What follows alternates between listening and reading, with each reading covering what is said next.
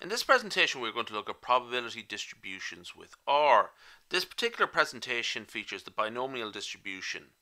So this is a sort of quality control type setting to it which would be quite commonly used place where we would sort of encounter the binomial distribution in terms of industrial processes.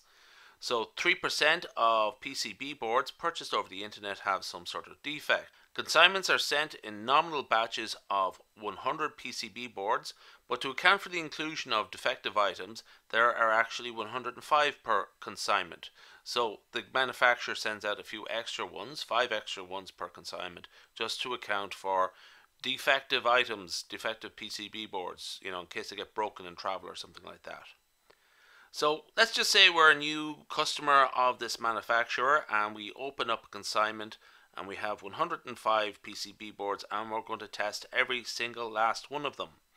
So what is the probability that we get six or more defective PCB boards? What is exactly that they're exactly four? What is the probability they're exactly six? What is the probability of between six and eight? Between two and four? And if there are more than eight from the batch, what would you do? Okay. So this is a binomial random variable, binomial probability distribution. Here x is the number of defective components in the batch, x is the number of n is the number of independent trials, that's the number of PCB boards in each consignment. So we're going to test them out one by one. So we're going to have 105 tests. Okay, here n is 105. P is the probability of a success, and here a success is the event that a randomly selected PCB board is found to be defective, and the probability of that success is 0.03. Okay, so that's how we might state it there mathematically. X is a binomial random variable with n equal 105 and p equals 0.03. So the first exercise asks us to calculate the probability of x greater than or equal to 6 that would be equivalent to saying that we do not have 100 working components in our consignment, which is what the box says. Okay, the box says 100 PCB boards. Do we have 100 PCB boards that work? Let's find out. So that how we would calculate that is 1 minus the probability of x less than or equal to 5. That's the cumulative distribution function. Okay. So let's set n to be 105 and p to be 0.03. So this is the cumulative distribution function of the binomial p binom, okay? Uh, where the value of interest is 5 and we're going to set size equals n and probability equals p. So the arguments to the binomial commands in R are size equals and prob equals. Okay, now I've just set n and p to have particular values there, but you can just put in size equals 105 and p equals probability equals 0.03. 1 minus the p binom, that gives us the complement. Okay. Now just remember that the binomial distribution is a discrete random variable.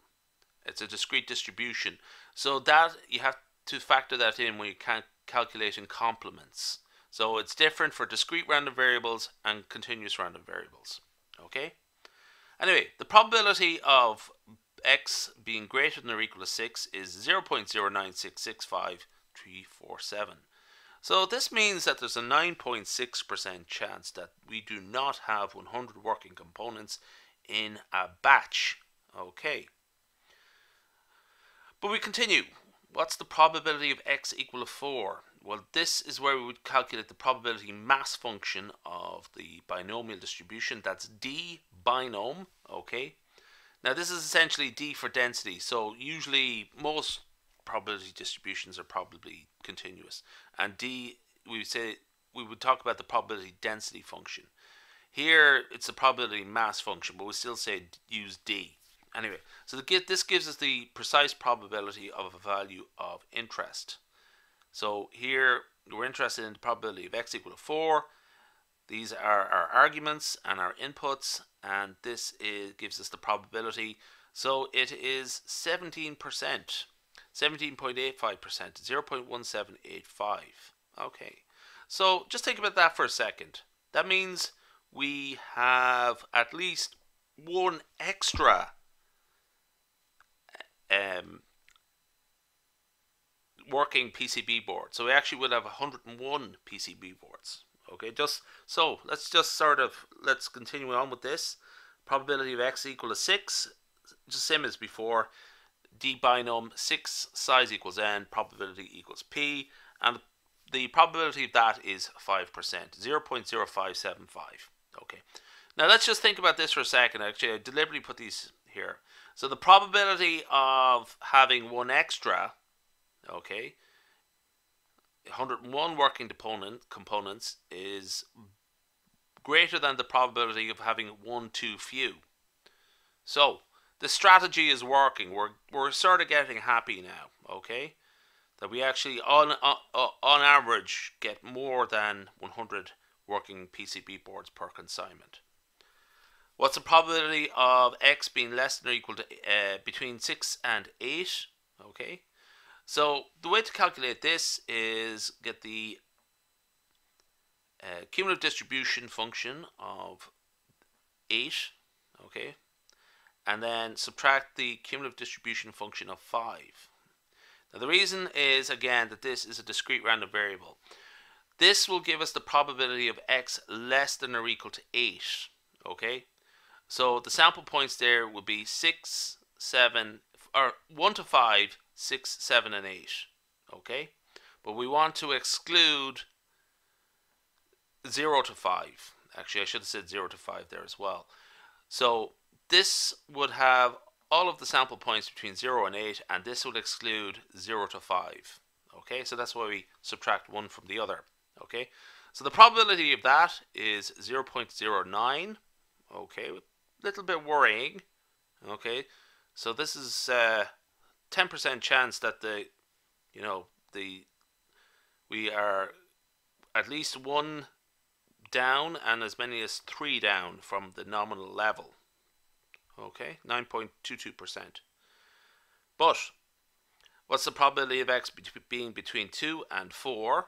So that's p binom size equals n, probability equals p minus one minus p binom of 1 size equals n probability equal p that is 61% okay so there's a 10% chance no 9.2% chance that will be less than the 100 level okay by one defective component two defective components or three defective components that we don't have the full amount but there are is a 61.8% chance that we get extra ones in other batches. Okay, so I'm happy enough. Now, the probability of x greater than or equal to 8, okay, and that is p binom size equals n, probability equal p, and lower tail equals false. Okay, so when you put in lower tail equals false, that means the probability of x being greater than that value there, and it's 0.0044. Okay, so um, that's a very unlikely outcome. It's not impossible, so I'm happy enough to continue this. I'm the the manager of this manufacturer and thinking, while this should worry me, I'm heartened by the fact that I on other consignments I probably might get an extra one to make up for it. In fact, plenty of extra ones to make up for it. Okay, so I'm very happy about this situation and I'm going to buy loads of PCB boards from this manufacturer from now on. Okay, we'll leave it there.